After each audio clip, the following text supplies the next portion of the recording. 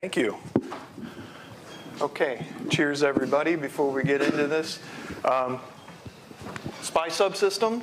Um, my name's Matt Porter, as he said, and let's jump into it. So, um, oops. Of course, now it quits working. How about that, huh?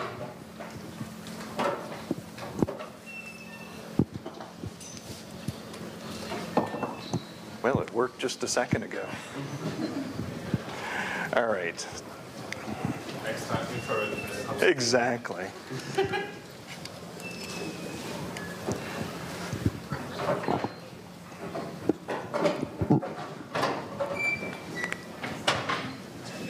All right. We'll do it manually. All right.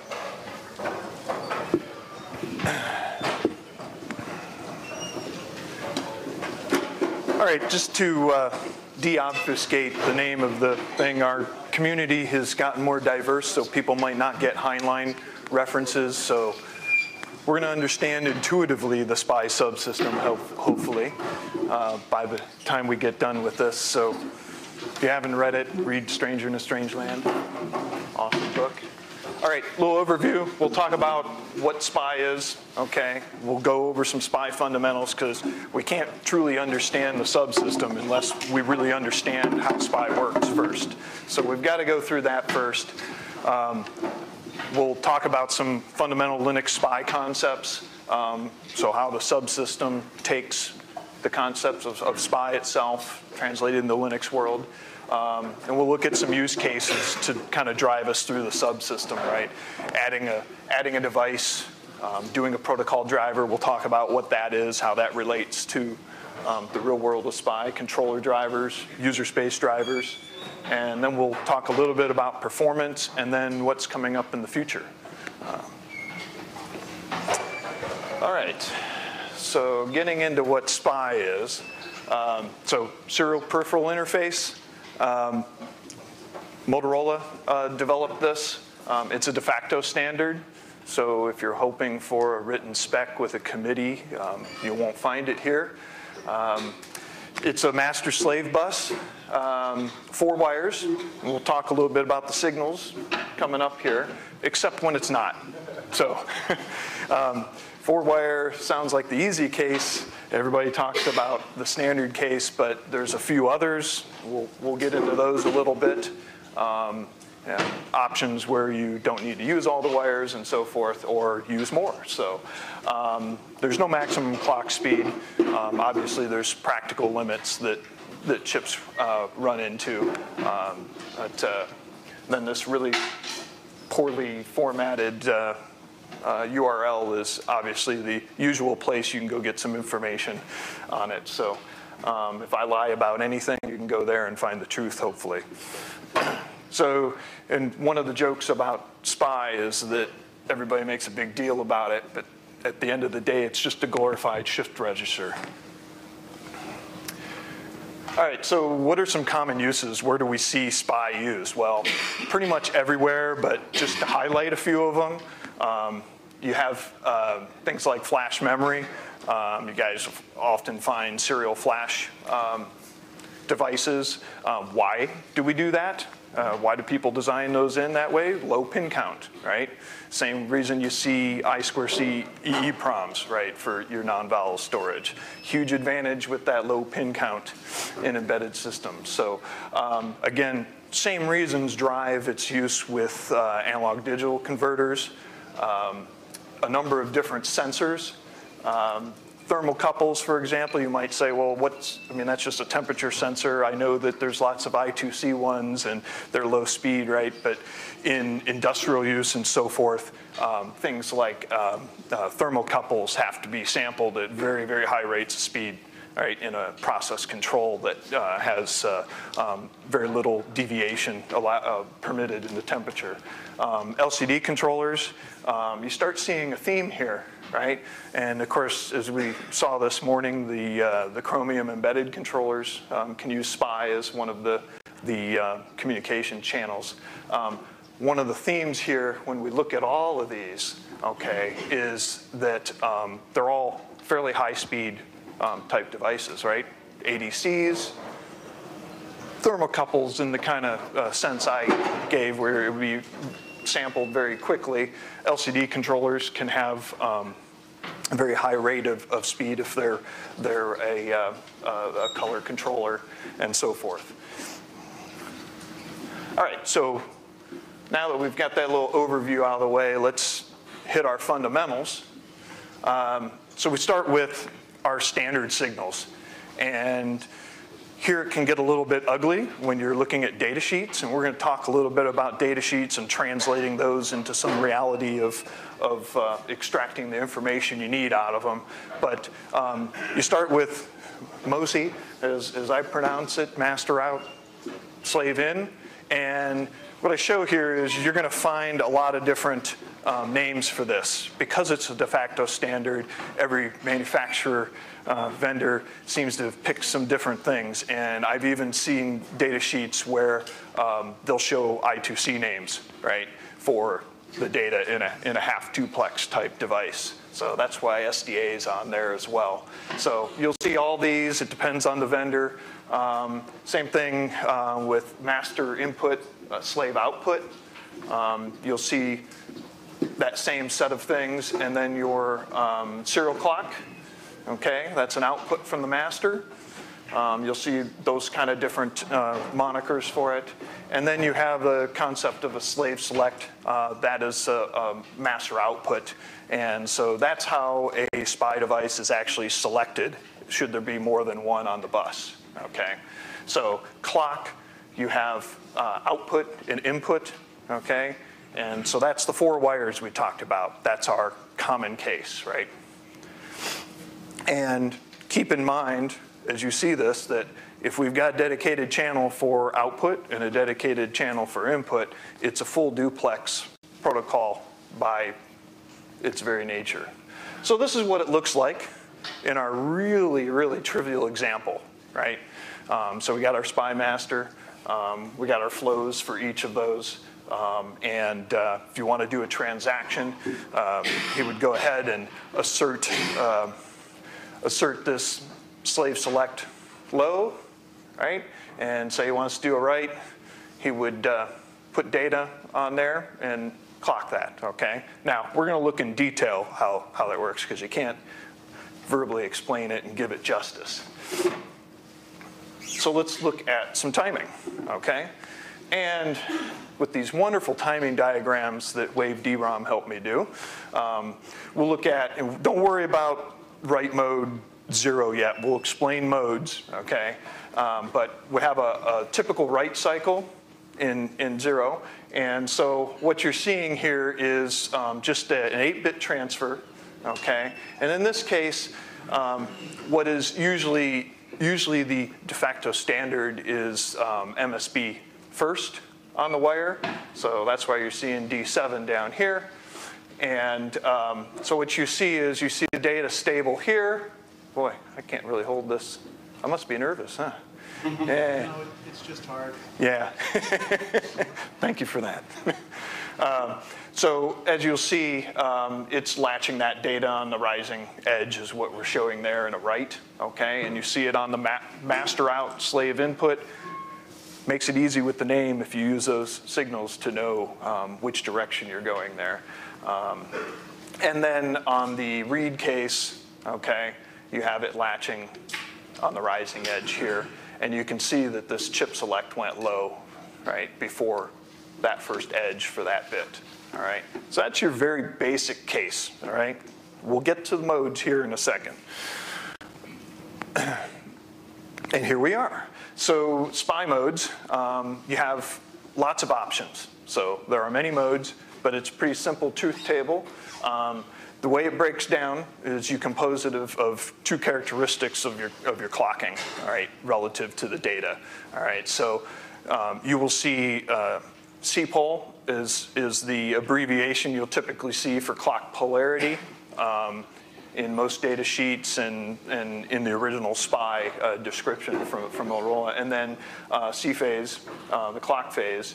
And so right here we see um, how those break down. So um, if the polarity, if the polarity is zero or CPOL is zero, then your idle state of your clock is low, right? And so it's, it's uh, transitioning from low to high um, in the active state, all right? And then the inverse is true if, you, if CPOL is one.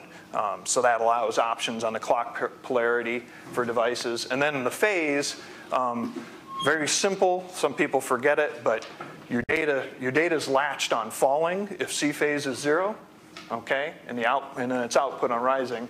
Um, and then uh, on, uh, on one, it's latched on rising.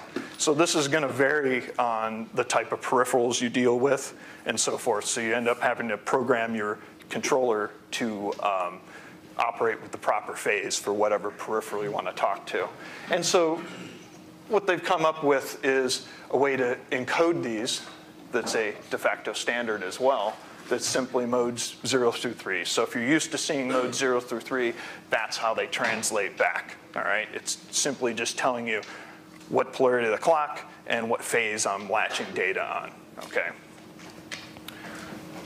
All right, so now let's look at these modes, right? I showed you the basic example. It was, write, it was writing and reading in mode zero, okay? So now let's look at each, each of them individually. We'll just look at writes just because it doesn't matter for, for illustration of, of this concept, okay? So what you see first, right, is our chip selects going low, all right, to activate the chip, right, at this edge here. Don't care what the data looks like here, all right? And then I have my first clock edge. And so this is just like, this is the original example we looked at, okay? And so you see it's latching data on each rising edge. And notice that it was, it was uh, idle low, right, clock. So that would be the clock um, polarity zero, right? And then the phase, right, rising is where it's latching. So then we go we still have clock idle low in mode one, if you remember our truth table there. Whoops. So when we're looking at one, we're just changing the phase, right?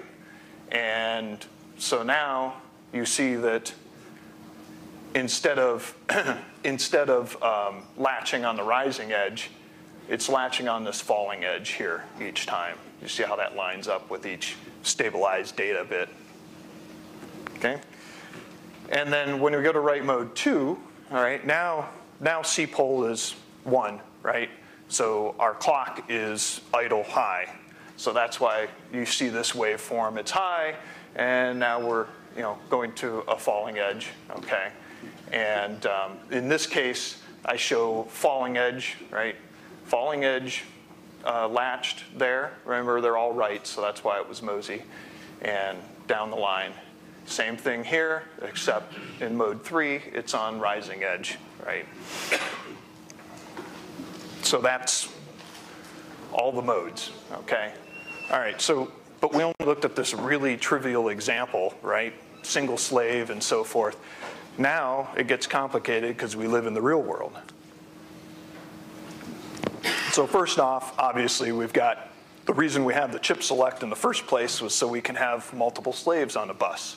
Um, and the way to think about a chip select is from a software stance, that gives us an address, right? So everything is going to have a unique chip or chip select in order to activate the chip, chip activate its buffers. And uh, so that becomes a convenient abstract way to reference multiple, um, multiple slaves on connected to one master. Okay. Um, the next thing um, the next thing that get complicated is daisy chaining. And um, the very common uh, the very common uh, case uh, that they'll show with daisy chaining is uh, the daisy chaining of the uh, MOSI to MISO on each uh, device. Uh, but there's also um, daisy chaining cases, in fact, the, the Anadigm um, analog, um, field program analog arrays, they do chip select chaining during configuration. So they shift so many bits and then it asserts another chip select. So now you don't have the master controlling the chip select down the line. And so that can get ugly as well. okay, and the next area, I promised you there's lots of ways you can abuse the fact that it's a four wire bus. Well, in high-speed flash devices, um, they started adding more lanes, right? Um, more lanes, more throughput, right? So there's a balance there on pin count versus your ability to, to burst read data off your SPI flash. And um, so um, we'll see that uh, there's, there's devices that, um, SPI flash devices that do dual or quad, quad's popular. Um, so essentially instead of one MISO, we have N number of them, right? And there's nothing preventing, I can't remember if there's some eight, eight lane yet, but it probably goes beyond the point of doing it. And I know that the quad ones are very close to or right around the parallel NOR flash speed now anyway. so, um, and um, so obviously, like I said, that increases your throughput. So every time you add another lane like that. All right, and then the last one um, here, variant, is the three-wire variant, microwire.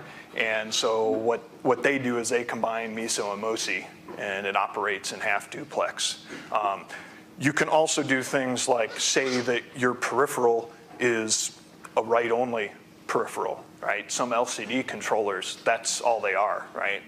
And you don't, you don't even need MISO hooked up for those if you're not, if you're just caching the contents of the registers and operating from reset. So a lot of designers just won't hook up a pin if they don't need to, to read back from it. So essentially you're back to a three wire bus. Or maybe it's your only device and you drop the chip select and it's always asserted. So um, there are designs like that as well. All right, so looking at that more complex case, which is really um, the more common one that you'll run into, um, what you see is the same type of flow, okay? And MOSI, MISO, and the clock are all propagated to all three of these together, right? But you'll see that each one of them has a unique slave select now, or chip select, right? SS1, 2, and 3. And if you can read this eye chart, so it's hard to fit this stuff on there. Um, so what you see here you know, um, is uh, this one here, and I know that's probably hard to see. I knew this one was going to be tough, but that's slave select one, two, and three. And so this is just showing, um, uh, excuse me, uh, three 8-bit writes, okay, each to each of those um, slaves. And so when you see the timing of that, how you manage that uh, is you drop the chip select for SS1. It's, this is write mode zero. And so what you're seeing is when that chip select is asserted, you see it latching the data for, for um, the first slave. And then you see slave select two, right? You see that unasserted, that go low, and now slave select two is, is uh, receiving eight bits of data and the same thing. So that just shows you what it would look like if you were dumping that on your logic analyzer Okay, we're through that background now, right? So now that we understand those concepts, now we can talk a little bit about the Linux SPI subsystem. so now every subsystem, the kernel has to translate this hardware into some sort of uh, concepts that we can use. And of course, um, with the uh, device model and the kernel, um, the way it's, it's broken out in the the SPI subsystem is we have a concept of controller and protocol drivers, okay? And those match up one-to-one with um, what the controller is that master that we saw, um, and the protocol driver is whatever protocols needed on top of just shifting bytes out to actually do something with your peripheral, okay? Um, and uh, So as I said, the, the, controller drivers, that supports the SPI master controller. Both of these run on your, your SOC, if you will, okay? And um, all the controller driver does, right, we've, we've, the, the subsystem is very carefully split out that protocol of the peripheral from the actual shifting of bits out of that controller and so forth. So all it's doing is controlling when that clock comes on, when the chip selects are asserted, or slave select, if you will, um, shifting the bits, and then configuring those characteristics so that you get the right mode, you get the right frequency of the clock, and so forth, okay? And, and, and of course, the, the polarity and phase, right, as we showed encoded in the modes, all right? So an example would be like for Raspberry Pi 2.3, the uh, 2835 uh, driver. So um, now protocol drivers, we said, very carefully split that concept away. So you don't, if you're writing a protocol driver, you don't have to think about uh, what is it, what, what, what controller am I on, what are its characteristics to a point, right? That's all abstracted for you. So um, the way to think about them is that's your slave-specific functionality. So if I've got an ADC, it talks to whatever that ADC says for these are my registers, this is how I get samples started, and this is how I read them out. That's what you're coding up in a protocol driver. All right, and so fundamentally, um, everything, every, every uh, operation in the SPI subsystem is based on top of the concept of messages and transfers, okay? And we'll, we'll talk about those in, in detail here and, and, and um, really understand that as it relates to the APIs. Um, but that's, that's a fundamental concept they've added that's, that's somewhat you know, outside the realm of that low-level SPI um, hardware, but maps well to how peripherals actually use SPI in, in functionality. Um, so remember, the protocol driver relies on you having a controller driver. It doesn't care what controller driver, everything's abstracted for you. So an example would be like um, one of these old MCP 3008 um, ADCs. So as promised, um, so communication, um, the, the, subsystem, of course, it breaks everything up into transfers and messages, okay? And so a transfer, and if you think back to those timing diagrams I'm showing, right, a, a transfer, if say my device wants uh, an 8-bit uh, has 8-bit registers that it implements behind it, okay? A transfer might be a single 8-bit read or a single 8-bit write, okay? Uh, in generic terms, it's a single operation between the master and slave, okay? Um, part of the transfer um, data structures, um, it, what's carried in there, remember, it's a full duplex um, wire um, protocol at the low level. So each transfer structure carries um, both TX and RX buffer pointers. So, you know, one, one can be consumed and the other filled, right, within the same operation. You can make either null if you're just doing a half duplex operation, okay? And each transfer can have its own optional uh, parameters set on it. So you can control what happens with the chip select after that operation ends okay? Um, and that, that matters a lot when you go look at your peripheral data sheet. It may, it may say, oh, you know, you can't drop the chip select um, after, after a, a, certain sequence of things. So um, you can go um, per transfer define, um, uh, define how that's going to behave. Um, and then you also may need to insert some delays in there to satisfy the timing. And so there's ability to do that. Okay. Now, that said, what are messages? Just an atomic sequence of transfers. So when you just when you build up a message, you can add n transfers, all of which can have this individual behavior of how they manage a chip select, a delay in between, and so you can build up that message for whatever your peripheral data sheet says. You need this sequence, right?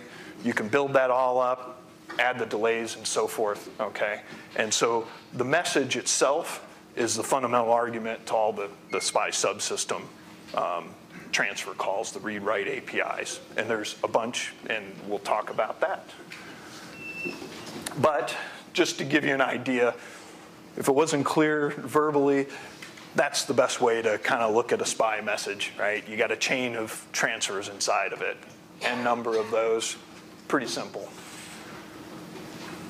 All right, so Let's use some use cases to walk ourselves through the subsystem now. Um, so I want to hook up a SPI device, right? I've already, I know there's a kernel driver for it, like, let's say the MCP320x that runs the MCP 3008. But how do I hook the damn thing up and get it working on my board, right? So the next one, I want to write a protocol driver, I want to write a controller driver, right? Or I want to write a user space driver because I don't, I've got something odd or I want to do something different than a kernel driver for some reason, or I'm lazy. All right, so adding a SPI device to the system. Um, the first thing is you need to know the characteristics of your device. You need to understand the timing of it in order to properly add it in because you're going to have to set some parameters, okay? So learn how to read a data sheet if you're going to do that. Um, you know, even if you're using off-the-shelf one, if you don't understand what the max frequency is, then you're not going to be able to hook it up right, okay? Um, and uh, so there's three methods to do this. Um, device tree, obviously pretty ubiquitous. Um, so we have it everywhere now. Um, the board file method that's, that's basically deprecated now, except x86 people tend to use it sometimes. Um, and then ACPI, um, which a lot of drivers are getting uh, uh, ACPI ID tables now uh, to, to uh, support that. All right. Wow. So learning to read data sheets, right, for SPI, there's a few important things. First off, you might not even notice when you look at the data sheet. Sometimes they don't even say SPI, right? And, and they will, they'll just say, ah, it's got a serial interface and you have to kind of go look at it and maybe they're masking because they don't want to say the, uh, the, uh, the Philips I2C name or something, right? So it might be I2C, but you got to look a little bit. Usually they'll say, you know, this is a SPI device. So this is a few clippings out of an ST7735 um, LCD controller. And um, what's important this was one of those examples where, where I was not kidding you. They show SCL and SDA, but it's, it's SPI, right, when they show that timing, okay? So, and, and that's also example of one where I said, you know, if, if you write only like this, it's like, know this part well, um, you, uh, you have a situation where it's essentially a three-wire uh, setup, you know, there, there's no need to have the, uh, the read path. Uh, it's optional. So uh, they actually show a four-wire hookup as well if you do want to read certain status things, but most designs don't even hook that up. Um, so important things here, identify at the beginning it's a SPI device, okay, you know, that's pretty obvious. But then, you know, be aware of your timing diagram. You have to be able to read the timing diagrams. They're not much different than the stuff I drew up. Um, they got a lot more detail though, right? So if, if you're a software person that hasn't got comfortable with data sheets, now's the time to do so if you want to do something with, with hardware. Um, so you know you need to you need to look at things like um, this time here, right, which is the time between where you drop the chip select, right, or you assert it, and when that first clock edge starts, right. And then they're showing things like um, the, uh, uh, the period by this, this high time and low time, right? So now you have the period and thus the frequency. So if you can do simple math, you can figure out what your maximum frequency. So that's generally how they communicate that information to you.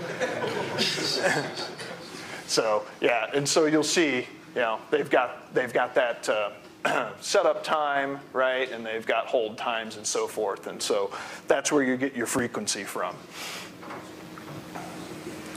Um, just a little bit more on that. And then, then what happens is all they were doing in that timing diagram is showing you a very low level, right? So then later you're gonna, you're gonna see more information that's actually how their protocol works. So in this, this part, it's got uh, the concept of a, a data or command type state. And so um, you'll find tables like this where now you're talking protocol, okay? Now it's showing me how, in this case, on the data line, this is a data or command flag. And so everything that's following in that eight bits, okay, is everything following that then is either a command, which could be a register access, right? Or if you're doing data, you may be just streaming your frame buffer, right? If you're using the, the uh, FBTFT stuff or the, the new DRM stuff they're working on for that. Um, so um, this is where you start seeing that. So you need to look for how those registers are mapped and so forth, and that's where you get um, what you need to do the actual protocol driver, the guts of it. All right, so let's look at another example real quick. That's one where it's a, a con, uh, LCD controller. I'm going to use this example when we go through hooking things up a little bit. Um, but uh, again, it tells you, it says, ah, I'm a, I'm a SPI device. Somewhere at the beginning of the document, I, these are just clippings I snapshotted out. Again, same type of timing, okay? And they show T high and T low here add them together to get your period, and you find out that you know it, it can do a, a max of four megahertz. Well, nominally, people find that everything works out of spec, but in reality, that's your safe time. So um, same thing there. Um, and again, just reiterating that um, it's one thing. It's one thing to have that low-level timing. It's another to go further in the data sheet and you start seeing how um, how the AD converter goes, right? When it starts doing its conversion, how soon after that the data is available. And D out here, if you remember, they use back to I described the signals and all the different names. That's that's the MISO, right? That's master in, slave out. So Half duplex, you mean? no, this this is this is a this is a four wire. It's just using um, the alternative naming for the things, so just don't get confused by that. You know, um, if you don't see MOSI and MISO on the data sheet, you know, D out is also MISO, right? That was back on that earlier slide on the signals, all the different crazy names that we see used. Oh, this turned out terrible, huh? Contrast is not good, huh? Well, can, you guys read that at all? Not really good. Yeah, you guys can. Yeah, can we turn more of the lights off? Because I think, I think it'll be legible enough. Otherwise, I don't have any examples.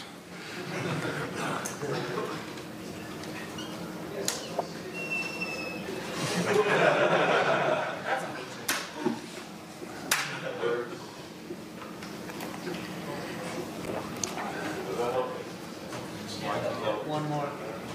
All right. Thank you. Now this is an intimate setting, right? Okay, so um, this is not grokking DT, so I expect you to know it, but this is just remember where to reference and find information for SPI stuff. You go, if you're gonna hook things up, so we're back to let's hook this thing up, right? Via DT, go look at your, go look at the binding, right? Um, documentation, device tree bindings, right? Um, and sure enough, we find um, this, and I clipped a little bit out of this for the example, but one of the compatible strings is microchip MCP3008. Uh, there's some deprecated ones in there as well, but and then there's a little example of how you would hook it up there. Um, that's for a 3002. We have a 3008. And so let's say, again, I'm not showing every variant of how you can actually implement this, um, but just as an example, um, a DTS fragment for this device would look something like this. If you don't understand DTS fragments or DT fragments and, and overlays, um, that's a different talk. uh, but uh, the, the important thing here is that um, in the overlay, the, the operative piece here is that um, this, this reg here is a chip select or your slave select. So that's your unique ID. So you can use it like an address, and that's how the subsystem uses it. Okay? You got that compatible string that we saw in the, um, uh, in the binding on the previous slide. And then we figured out what our max frequency was from our data sheet because we're smart, and we're going to plug it in there. Okay? So 4 megahertz there. Now, this is how you do it the wrong way. Um, so if you've got a board filer, you're on something like maybe a, a MinnowBoard, right? Typical uh, developer board where you don't have DT handy and ACPI doing, doing uh, uh, uh, overrides is really a, a pain. um, you do this type of thing, um, which is it's well documented in the subsystem docs. Um, this is the old way. So normally you'd see in a board port, you also see this this structure and so forth. In the old days, before DT, you'd see all the board files in the kernel registering all their devices this way, right? Um, so um, just in, a, in a, a big array here. Um, so this is just an example of one. Again, same data that we needed, right? We know we're bus number one, um, chip select zero, and this uh, four megahertz rate. And we also need to tell it what module doing it by ACPI is almost unreadable, um, as with most ACPI stuff. But um, you see there, basically the same things are there. Um, it, it, mixes a bit up here. Um, you know, you've, you've, got the clock polarity and so forth. Um, you've got um, the, uh, the max frequency. It, well, that's, that's this one here. So that's your four megahertz in, in, well, in machine readable form. So that's what that looks like. So three ways to get there. It just depends on your platform, right? So you'll see these type of constructs on uh, Bay Trail type. If you dump their ACPI, you'll see some of the stuff for SPI devices. It looks mysteriously like that. All right. So that's how we hook one up. Basic example. Uh, time check. All right, we're good. Um, so now um, let's talk about a proto protocol drivers, okay? And um, now we're getting into the meat of things. We're going we're to come back to the whole messages and transfers and, and so forth because we're, we're, we're, now going to use some of that as we get into these. So uh, if I do a protocol driver, um, standard Linux driver model, okay? You find these same patterns throughout the kernel. Um, so you have to instantiate a struct SPI driver, okay?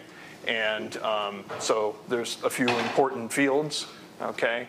Um, once, once the probe fires, so again, we assume that you know the driver model first off. We're not going to cover all that here, but just as a highlight of what you've got to fill out to do your protocol driver, okay? You have your optional PM ops that you probably want, and you got a probe and remove, which all standard hooks you're going to find in everything that works in the driver model. Um, the important thing operationally with a SPI protocol driver um, is that as soon as, as soon as it probes, you can start using the kernel APIs to do messages, okay? So, so that's immediate. Um, and so, yeah, so once you implement that probe, um, you can start uh, banging on the device using the in-kernel APIs. So what are these APIs? These are the APIs you're going to use to build a protocol driver, right? We, we said the subsystem's carefully architected to separate out that controller thing. So all we have available to us are these neat little transfer um, APIs. So the first is SPI async, and it's not really an obfuscated name. It means what it says, right? So that's an asynchronous message request, okay? And when, when that message completes, you get a callback executed, all right? Um, the key with async and when you're using these is that it can be issued in any context. And we'll explain what the other side of that is in a moment, but you can execute that, for example, in IRQ context, since it does not sleep, okay? Now, SPI sync, uh, and I will say that when you look, you look at the type of drivers that use SPI async, you find it's not heavily used directly, okay? Um, and we'll get back to that in a second, but so now let's talk about SPI sync, okay? Again, synchronous message request, right? It does exactly what it says. Um, one thing implementation note is that everything, all of these synchronous family uh, calls are all wrapped around SPI async, right? So the same backends used, um, but they guarantee uh, s- um, that, that it will return uh, on completion. So um, you can only issue this in a context that can sleep, right? So um, if you you need to be in an IRQ context, you're going to have to use this guy, okay? Um, and as I already said, it's a wrapper around those. And um, so you can build up um, complex messages and then issue them with the SPI sync, okay? And then there's some helper calls where you can just uh, hand a buffer and do a write and a read.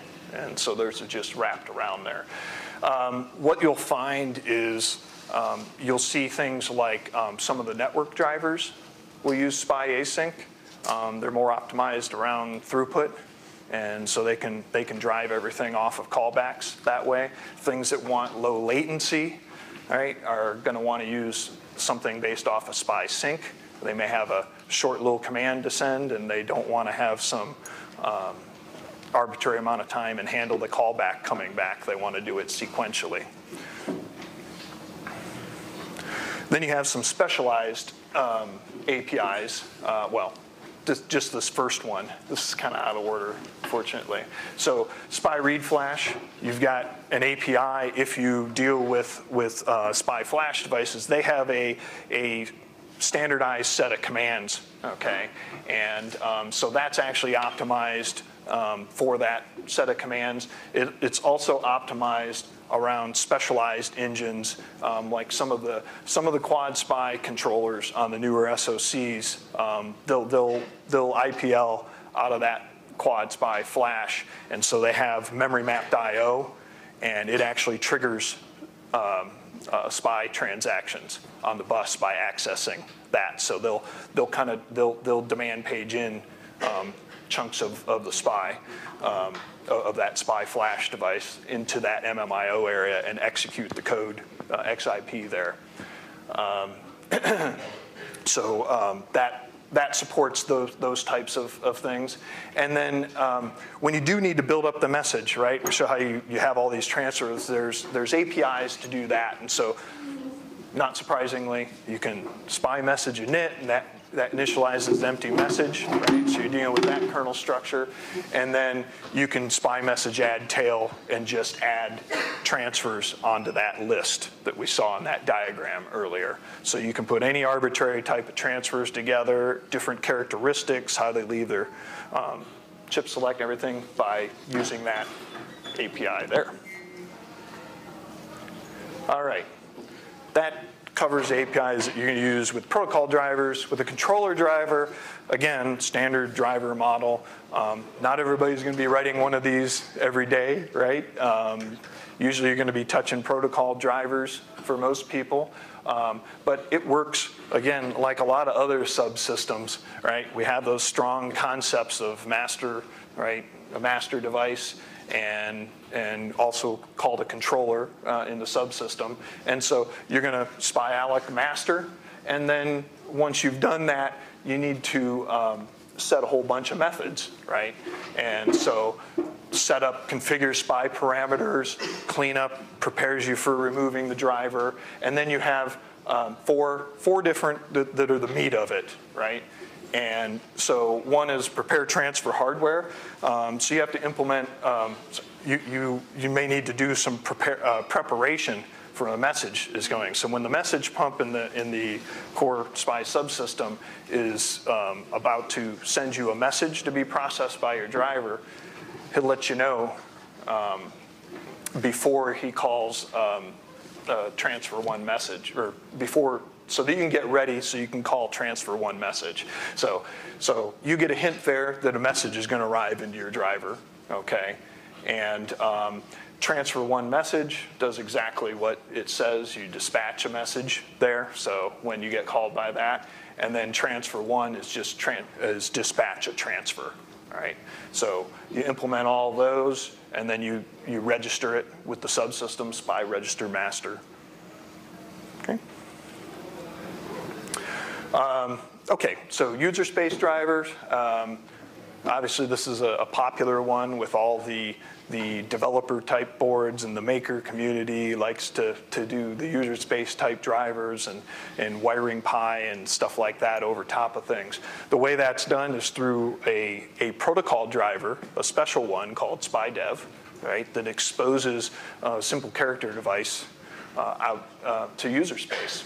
Okay, so when you bind that spidev driver to an actual device using methods that we showed earlier, okay, you get these instantiated.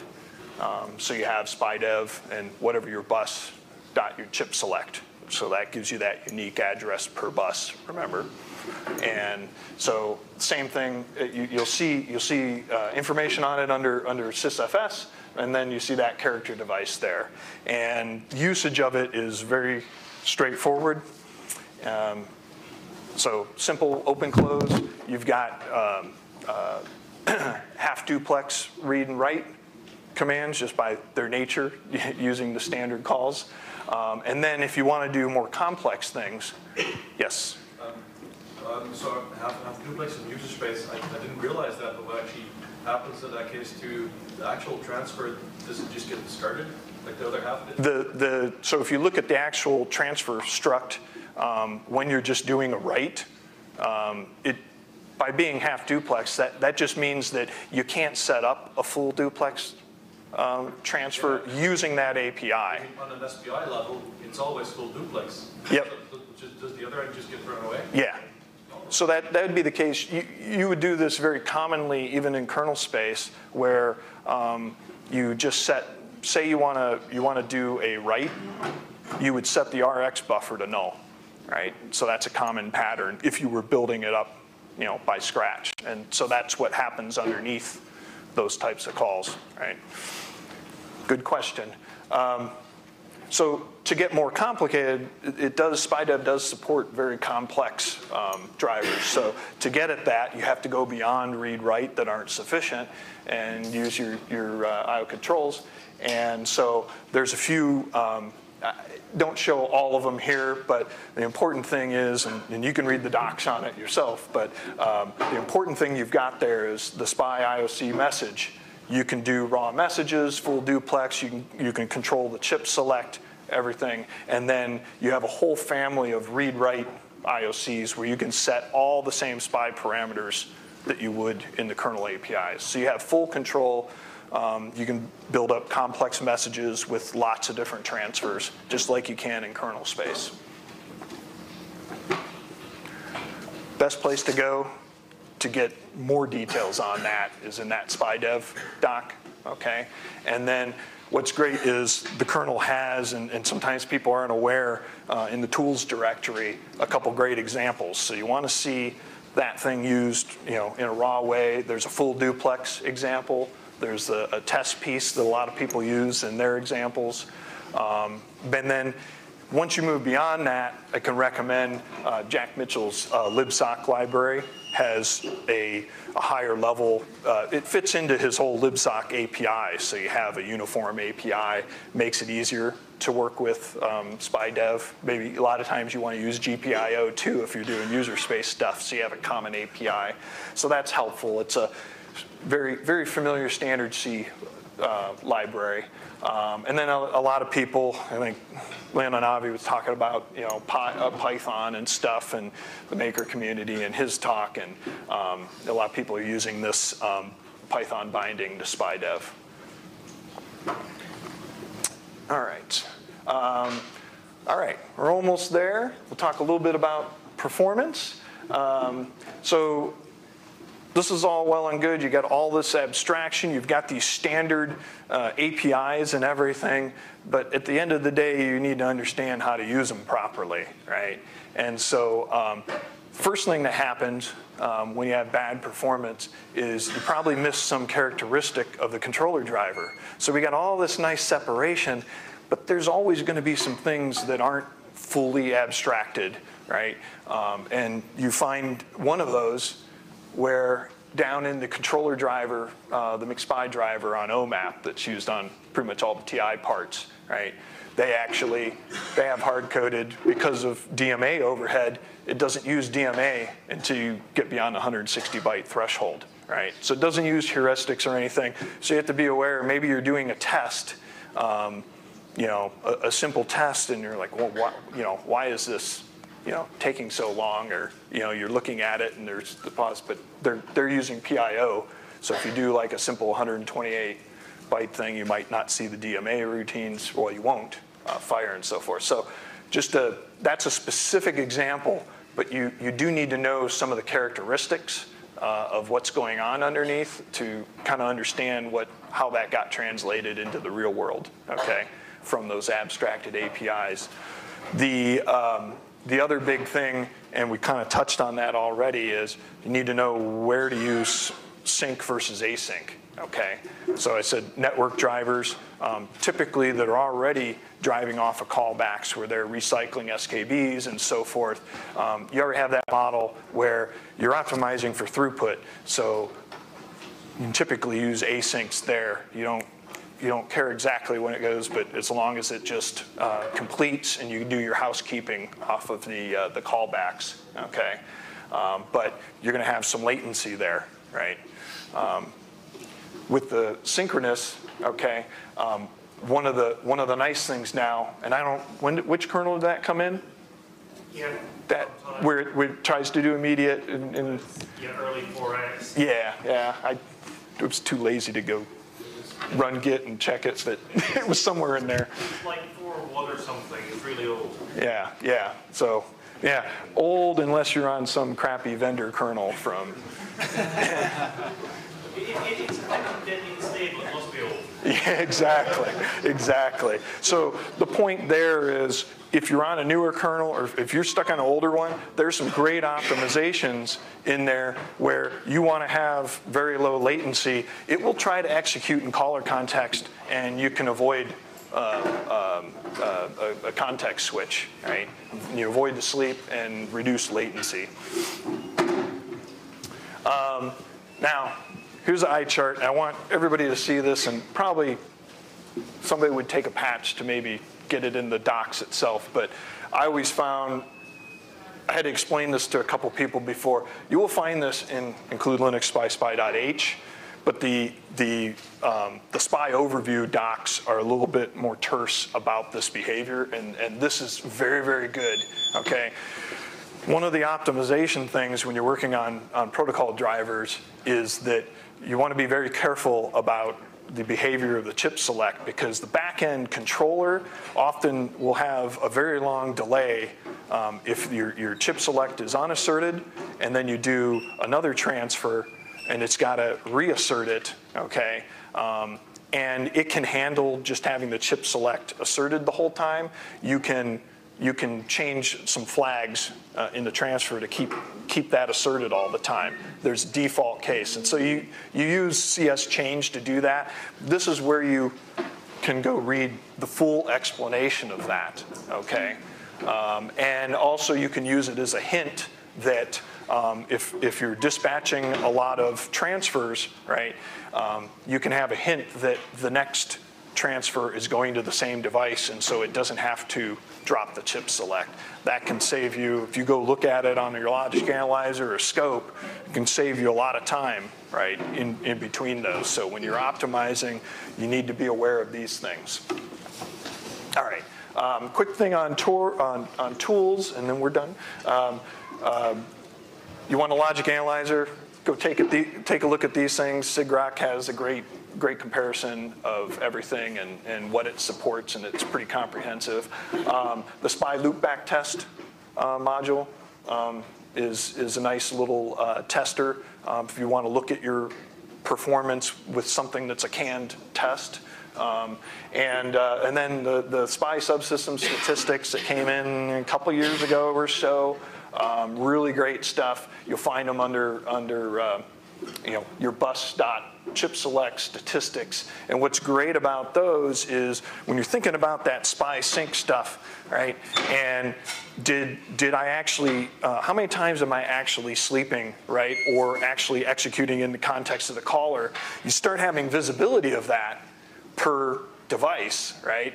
By you see how many messages you sent, transfers you sent. Oh, how many times I did SPI sync immediate, right, which executed in my caller context versus how many times did I did I fall asleep, right?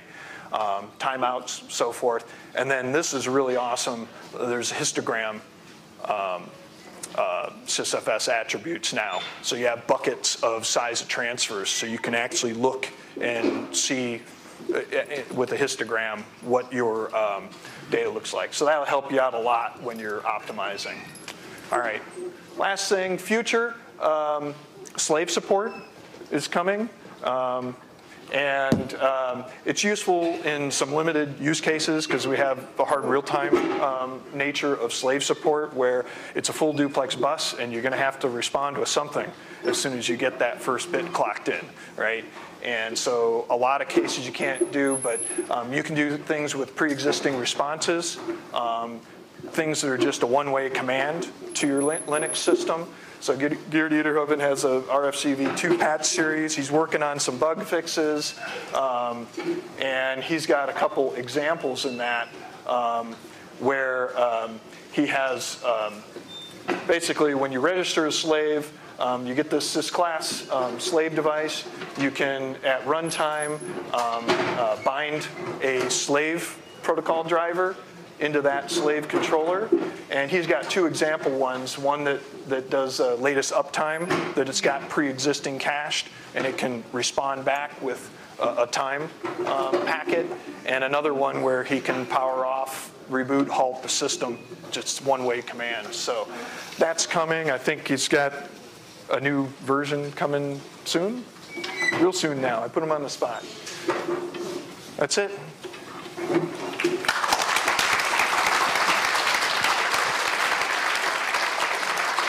So I, I think we do have time for a question. If uh, people could be courteous to Matt, who's given us a great talk. Hopefully we can uh, be still just for this one question if there is one. Go ahead.